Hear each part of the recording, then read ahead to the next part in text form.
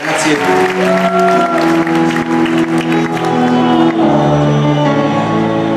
Sta suonando il pianoforte il mio amico Morris Codenotti. Che dice che Gesù ti favorisce.